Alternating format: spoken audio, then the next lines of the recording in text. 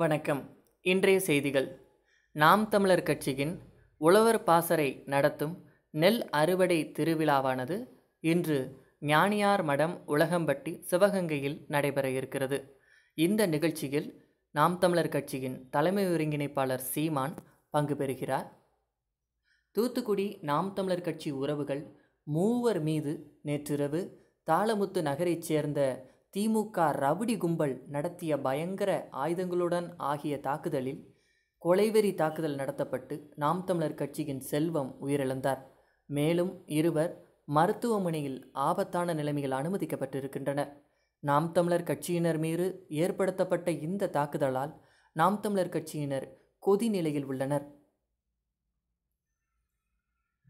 ஈழ விடுதலைக்காக தன் உயிரையே ஈன்ற வீர தமிழ்மகன் முத்துக்குமார் அவர்களின் பதினோராம் ஆண்டு நினைவு நாள் இன்று அனுசரிக்கப்படுகிறது.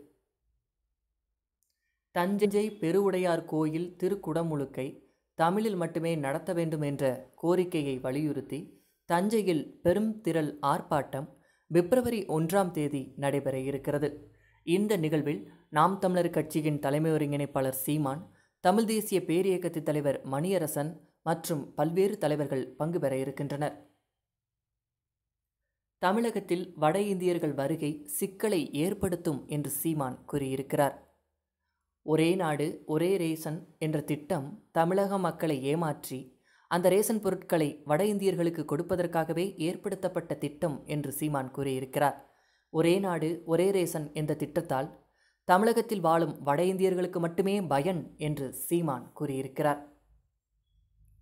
ஆலங்குளம் தொகுதி கடையம் ஒன்றியம் ரவணசமுத்திரம் கிராமத்தில் இன்று நாம் தமிழர் கட்சியின் கொள்கை விளக்க துண்டறிக்கை வீடுதோறும் வழங்கப்பட்டது.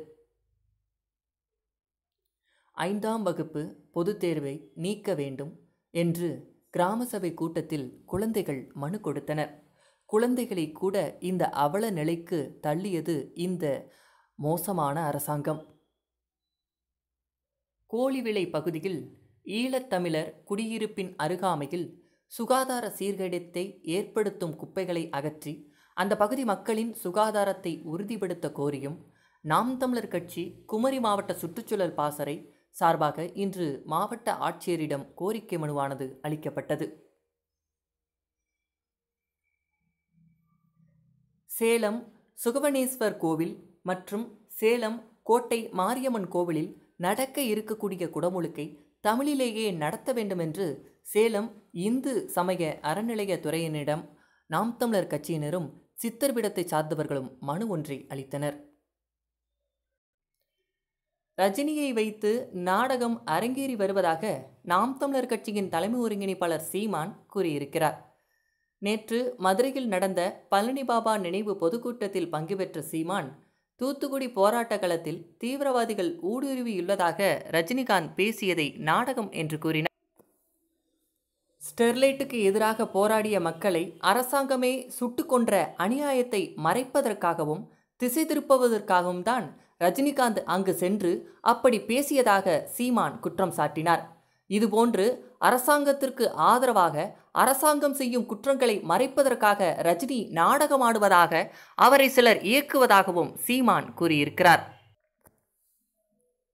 குடியுரிமை திருத்த சட்டம் குறித்து கேட்டால் ரஜினியிடம் எந்த ஒரு பதிலும் இல்லை. ஆனால் அவர் முதல்வராக துடிக்கிறார் என்று சீமான் குற்றம் சாட்டினார்.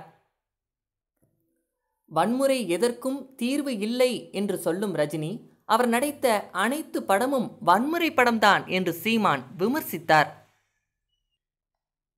வன்முறை எதற்கும் தீர்வு இல்லை என்றால் காவல்துறையினிடம் துப்பாக்கி எதற்கு குருவி சுடவா தடி எதற்கு கொசு அடிக்கவா என்று சீமான் நகைச்சுவையாக கேள்வி எழுப்பினார்.